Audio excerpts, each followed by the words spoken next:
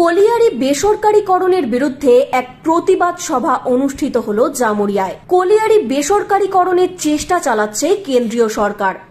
এমনই অভিযোগে বুধবার শিবপুর শিবডাঙ্গার এসএসআই কলিয়ারির গেটের সামনে এক প্রতিবাদ সভা অনুষ্ঠিত করা হল সি টু ও সিএমএসআই এর তরফে।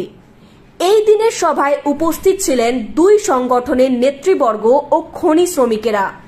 খনি বেসরকারীকরণের পাশাপাশি শ্রমিকদের স্বার্থ রক্ষার দাবিতে আওয়াজ ওঠে এই দিন।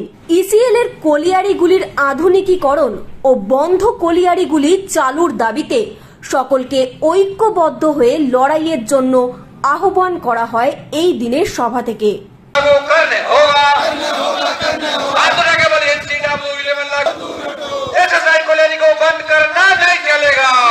জামুরিয়া থেকে সতেন মুখার্জির রিপোর্ট TV News 10